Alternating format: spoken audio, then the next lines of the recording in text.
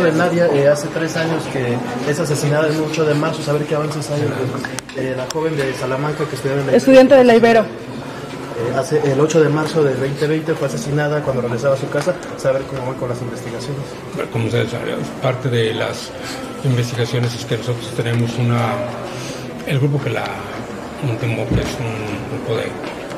de, de este. de un grupo del delictivo local, digo local de, de la entidad federativa.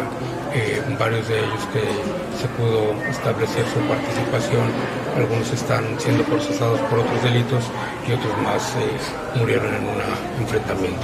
O sea que sí hubo detenidos por este delito. Por supuesto, y que hemos podido, que ahorita mantenemos que algunos no procesados por este, por este hecho, pero en aras de lo que estamos estableciendo precisamente los procesos diversos.